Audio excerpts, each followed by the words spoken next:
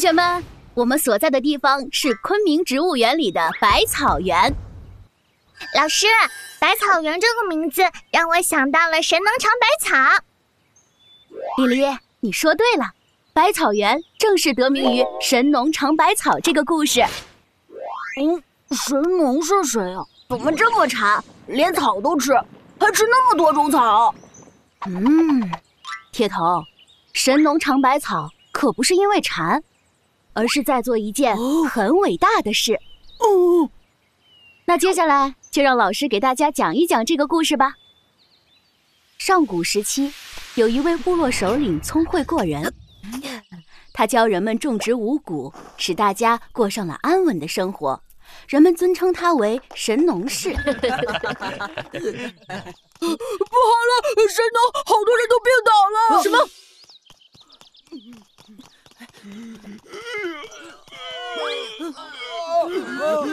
你怎么了你？神农，快想想办法眼看着人们被疾病折磨，却无能为力，只能痛苦死去。神农氏十分着急。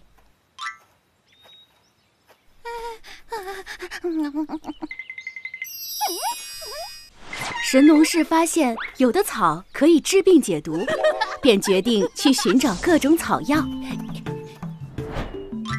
为了辨别草的药性，竟然不顾危险亲自尝草。哇！期间，神农氏数次因为中毒而生命垂危。但又化险为夷。就这样，神农氏辨认记录下许多种草的形状与功效。他把这些经验交给了人们，挽救了很多人的生命。然而有一次，神农氏尝到了一种毒性很强的草。神农，你怎么了？这种草有剧毒。告诉大家，千万不要吃！神农，这一次神农氏没能化险为夷，不幸身亡。人们为了纪念神农氏的功绩，隆重的安葬了他，尊他为农耕和医药之祖。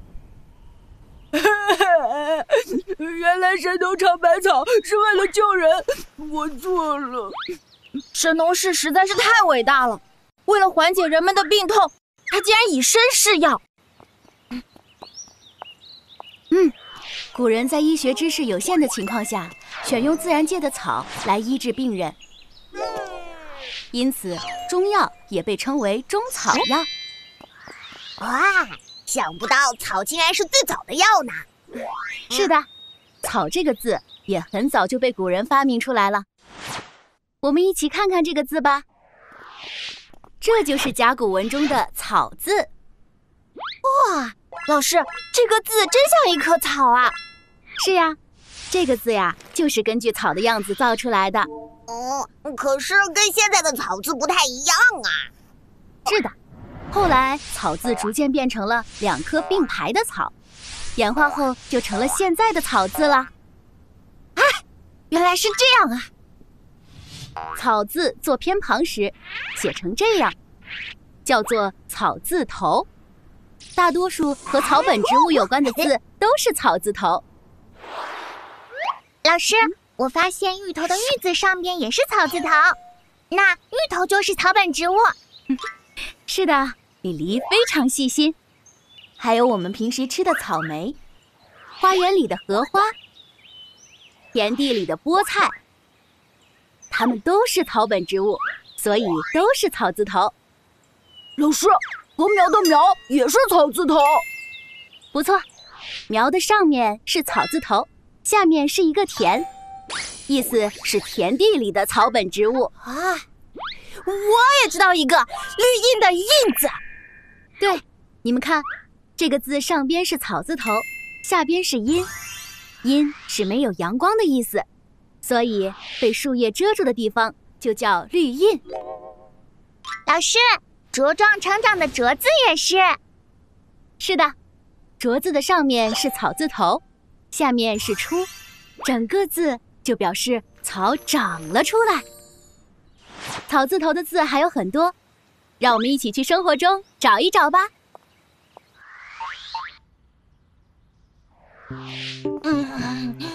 米小圈啊，转悠什么呢？别等着我看电视啊！老爸，莫老师让我们找带草字头的字，铁头要跟我比赛，看谁找的多。那你找到了多少呀？嗯，我想到的只有植物里的各种花，比如菊花、芍药、茉莉。可以呀，但是没创意，感觉不厉害。其实你刚刚就提到了一个，莫老师的莫就是草字头啊。对呀，我都没想到，老爸你太棒了。那当然，你再慢慢想啊，我再泡点茶。咦，老爸，茶茶也是草字头啊？对呀，儿子，老爸再提示你一个，每个月十号，老爸发什么呀？啊，发薪水。薪水的薪就是草字头。薪水？嗯，对呀，今天十号了。米博文，你薪水呢？在这儿呢，老婆，给你。老爸，你再提示我一个。不行，不能再提示了，这成本太大了。哦。